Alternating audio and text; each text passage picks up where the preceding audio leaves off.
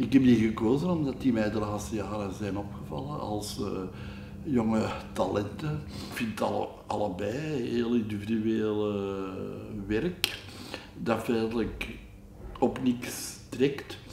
En dan vind ik het positief, want het trekt op niks anders. Dat wil zeggen dat het veelbelovend is voor in de toekomst.